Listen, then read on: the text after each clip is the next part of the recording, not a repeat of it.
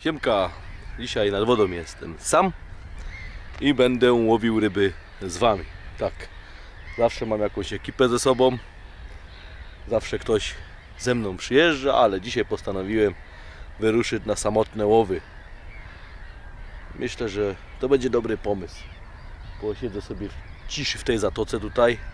Właśnie mam zamiar obłowić te trzcinki i pomyślałem, że będzie idealnie właśnie, żeby nikogo nie brać, żeby sprawdzić samemu, co się tu dzieje. Cały czas szykujemy sobie miejscówkę na majówkę. Ja jeżdżę po różnych wodach i próbuję znaleźć jakąś odpowiednią miejscówkę, więc to jest jeden z tych pomysłów, gdzie chciałbym usiąść i muszę to najpierw sprawdzić.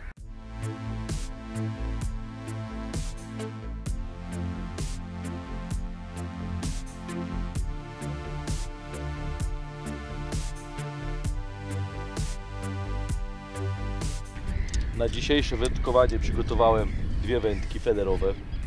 Będę łowił na koszyk i na tak zwaną skrętkę. Pewnie dużo ludzi, dużo wędkarzy z Was wie co to skrętka, jak ktoś nie wie, to musi to sprawdzić na internetach, bo na YouTube czy na internecie opisów łowienia na, tej, na tą metodę jest mnóstwo. Więc ja już Wam tego nie będę pokazywał, ale przypon mam długi, powiem. Od tej kropeczki tutaj czarnej, czyli łącznika. Fiu, fiu, Dominik poszalał. Przypon taki z 80 cm. Już widzę jak te karpie, karasie, linki to ciągną.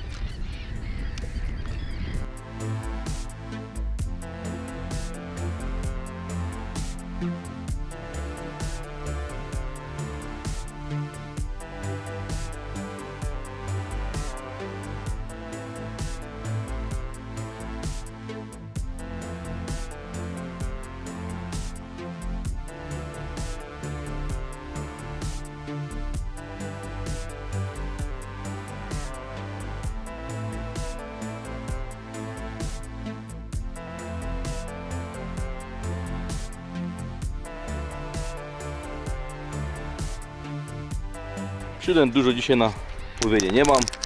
Po prostu wziąłem białe robaki, kukurydza i czerwony robak. Na początek założę białe.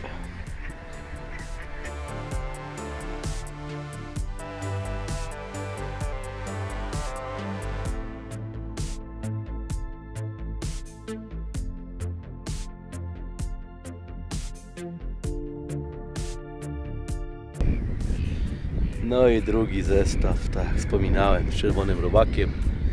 Do koszyka już wsadziłem zanętę.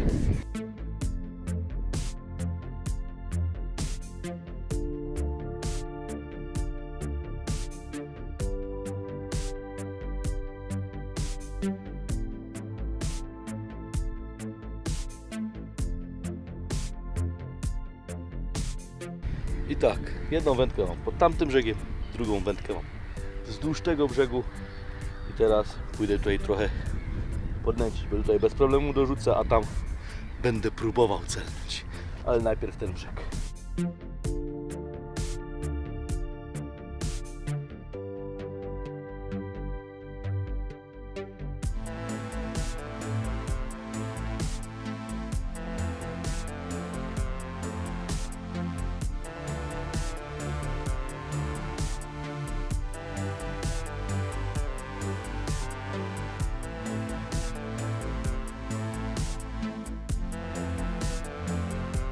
I walczymy z pierwszą rybą.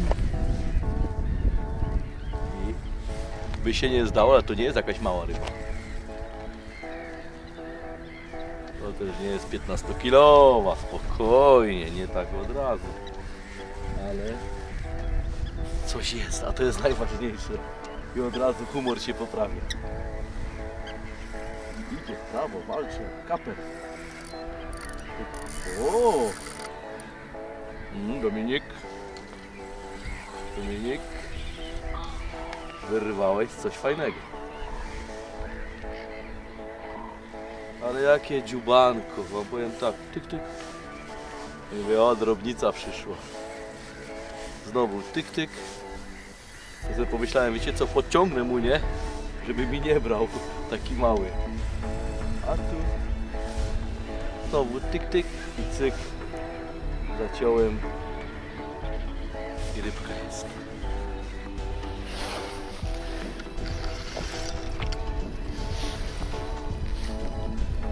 No, chyba karp to nie jest karaś, co? Albo ładny karaś. Nie, wiem, zaraz się do tylko wyciągnę. Ale chyba karpik. Trzymaj go tutaj. I już mogę stwierdzić Wam, że to jest na pewno mały karpik. Skusił się na zanętę, podeszedł. Ale najważniejsze, że jest ryba.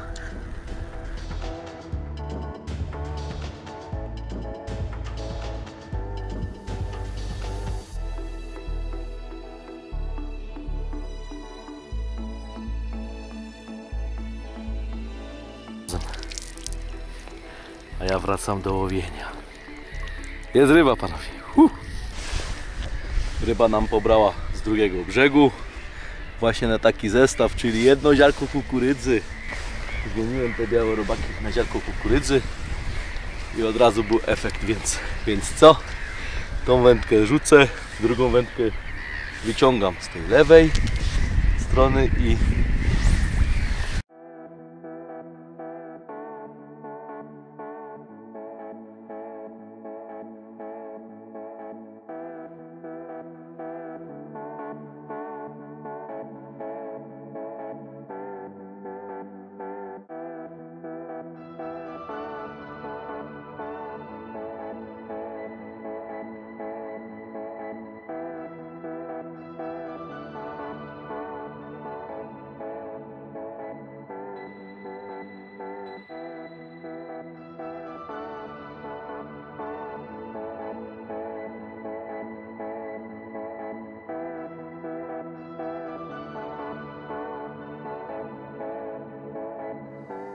Możecie teraz tu ze mną posiedzieć właśnie i poobserwować razem ze mną wędki. Oprócz tego posłuchać ptaków, które właśnie się szykują chyba do lęgów. Taką mamy wczesną, wczesną wiosnę. A jeżeli chodzi o wczesną wiosnę właśnie, to jest jedna z moich właśnie najbardziej ulubionych pór roku.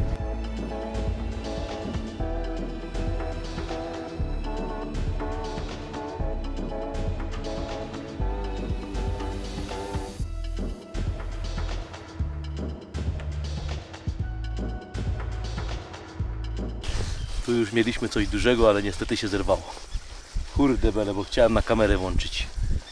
O, tu już mieliśmy naprawdę dużą rybę.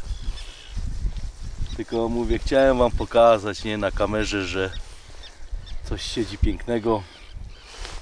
I zobaczcie, cały przypon zerwany. Ale podejrzewam takiego karpia około 7 kg. No szkoda Dominik, szkoda no. No nic teraz nie zrobisz, no. Szybko robić zestaw, wiązać haczyk, no i co, no zarzucać, nie?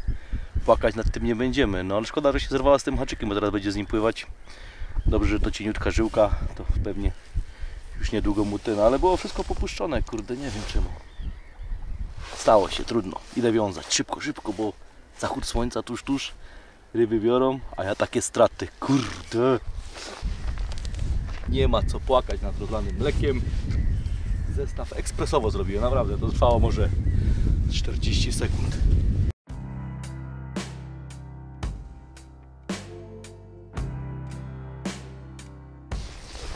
Mam na tej jednej wędce założoną założony przypon 0,14 z haczykiem i postanowiłem teraz, żeby nie ryzykować znowu zerwania jak to ubrania, że zmienię to na 0,18 bo szkoda mi po prostu brania. Tu już widać, że już mam gotowy, widzicie? Gotowy haczyk, wszystko. Po prostu szybka wymiana. Nie ma się co czaić. Ryby się tutaj nie pieprzą z wędkarzami, widzę.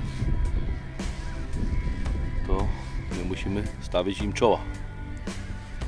A potem człowiek by żałował, mówi, a chciałem, a nie zrobiłem, nie? Chęciami piekło wybrukowane. A ja chciałem i zrobiłem. To na razie na bok. Idę zakładać.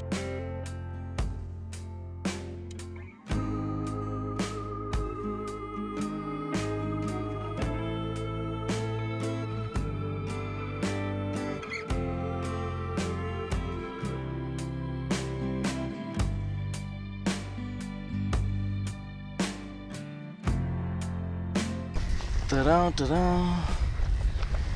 Haha, Pięknie. Takie wędkarstwo to kocham. O. A już myślałem, że karp. A tu taki kurde zdobycz mi pobrało na kukurydzę. No Daj się odpiąć. Nie bądź taki. Oś kurde. Malutki haczyk na jego gębę. Bo On tą buzię ma dość dużą. Więc udało się. Taki okaz. O.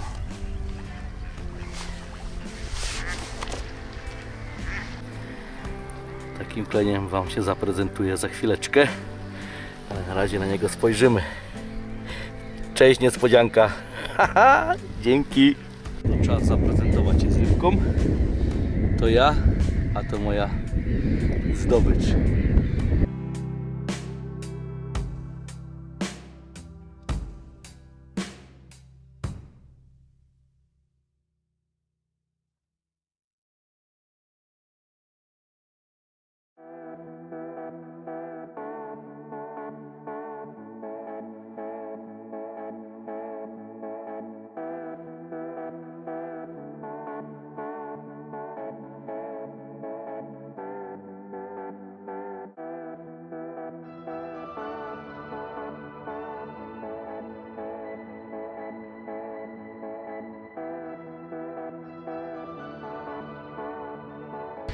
Przyznam szczerze, że jestem zaskoczony ilością brań.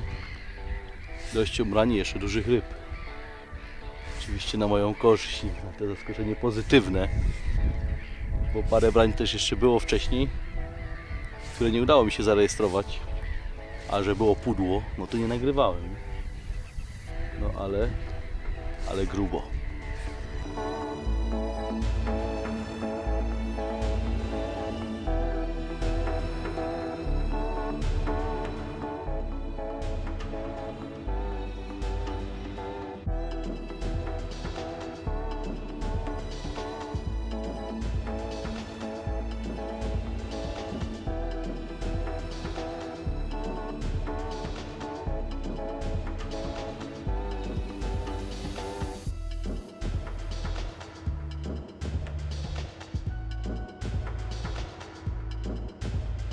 Fajnie.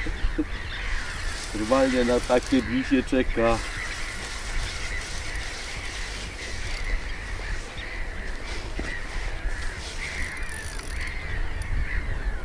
Zmieniłem przypon, panie kolego, wiesz? Nie tak ostro w prawo. Tamten też tak uciekał. Tylko nie w krzaki, nie w kolego. Wiem, czekaj chwilę, zaraz się wypuścimy, tylko pokój się nam. My z widzami chcemy Cię zobaczyć.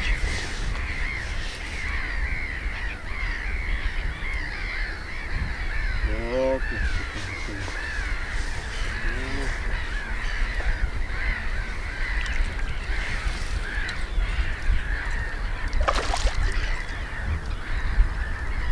No. Arpik.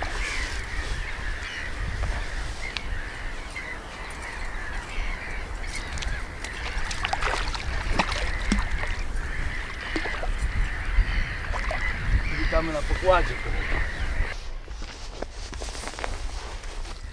Pokaż się, pokaż. Odczepiłeś się już, tak? Dzięki. Przynajmniej się nie muszę męczyć z odpinaniem. Tak, to Dominik z kolejną rybką. Mm. Chodź. Chodź, bo czas się żegnać, bo wędki muszę rzucać, chłopie. Nie mam czasu dziś. Idź, idź, idź już. Para. Jeszcze jakąś rybkę by się wyciągło. Jedno ziarko, nic więcej. Zanęta do koszyczka.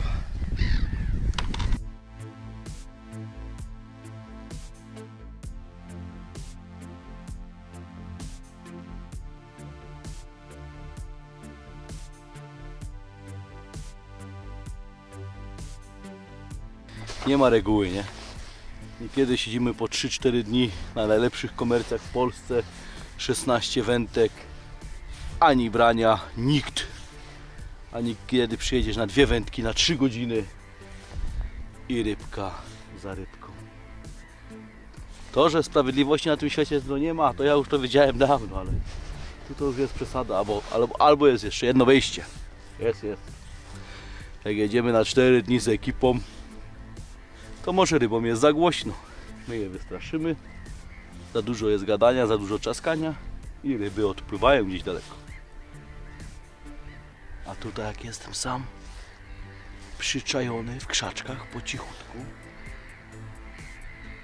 no bo po prostu ryby żerują. No. Nie ma miękkiej gry. Kolejny. I to właśnie kochamy najbardziej w wędkarstwie, nie? Co? Chyba tak. Te niespodzianki. Te niespodzianki są najlepsze. Nie wiemy co nas czeka za każdym razem jak jedziemy na wędkarską przygodę. Za każdym razem sobie układamy w głowach, nie?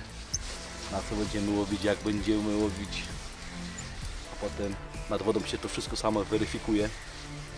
I tutaj dobrze, że tą puszkę kukurydzy wziąłem, Wam powiem. Rzadko ostatnio brałem. Chciałem nastawić się głównie na białe robaki, na czerwone. A tu taka niespodzianka. Wszystko, wszystko na kukurydzę puszki.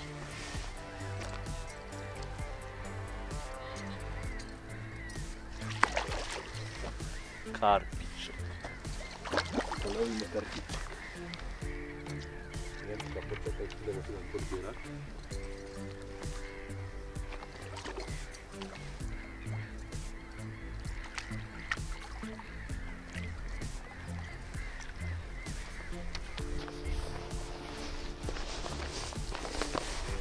Się tak schował za tą siatkę. Pokaż się, gdzie się to wbiło. Jeżeli chodzi o te, co udało mi się wyciągnąć, to może nie są za duże, około 40 cm, ale ten jeden, co mi się zerwał, musicie mi uwierzyć na słowo. Ten podejrzewam, że miał około 5 kg. Dzięki hopie.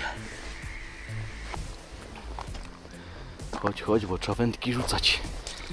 Nie ma czasu.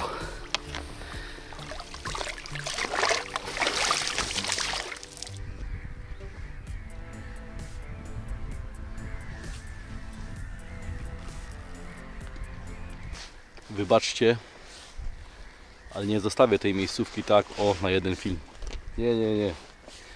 Za dobra jest. Wykorzystam to, że te rybki biorą i kilka razy tutaj przyjadę. Ale popróbuję sobie też może inne metody. Właśnie tak jak mówię, metody. Dzisiaj miałem skrętkę. Nie widzieliście cały czas. Jutro może jak tam rady przyjechać, a jak nie to w sobotę z metodą. Sprawdzimy, czy coś tu się będzie działo. Podejrzewam, że następnym razem może już nie będę sam, tylko ktoś się do mnie przyklei z naszej ekipy. Ja jeszcze łowię, jeszcze łowię, bo widzicie, jest dość jasno. To nie jest tak, że się poddaję. Tym bardziej, że dzisiaj mam chęci zostać dłużej. Ale jakby się nic nie pokazało, to wiecie, nie? Widzimy się następnym odcinku za tydzień. Teraz jeszcze muszę tak Wam powiedzieć, że za chwilę będziemy wyhamowywać z cotygodniowymi publikacjami filmów, bo muszę też nazbierać na zimę. Wiecie, że zawsze to robię, że najwięcej filmów zbieram na zimę, czyli na okres od połowy listopada gdzieś tak do właśnie końca kwietnia. Potem hamujemy na kanale. Jeszcze o tym będę robił vlog, żeby potem nie było znowu co tydzień pytań, czemu nie ma filmu, czemu nie ma filmu. Ale już musicie się powolutku nastawiać na to, że okres ten 4-5 miesięczny, filmy będą co dwa lub nawet co 3 tygodnie na podtrzymanie tak kanału, że coś się na kanale dzieje.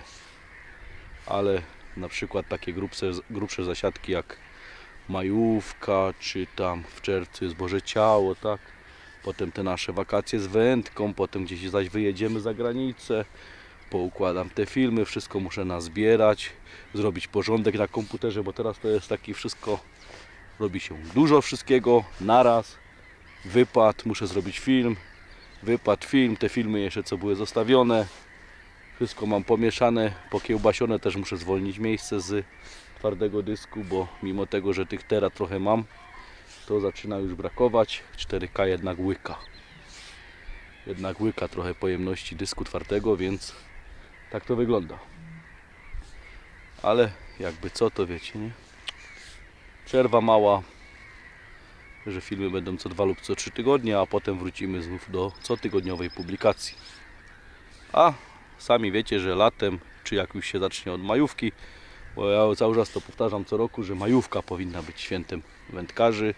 Wiem, że to już jest zarezerwowane dla państwowe święta, ale jakby było święto wędkarzy, to by się nic nie stało, bo wędkarze po swojemu by to poświętowali na majówce. No i od majówki się wszystko zaczyna. Czyli cała Polska wędkarska na majówkę rusza i wtedy zaczynamy już wszyscy łowić aż do późnej, późnej jesieni. Więc czekamy na branie kolejne, ale jakby co, to widzimy się.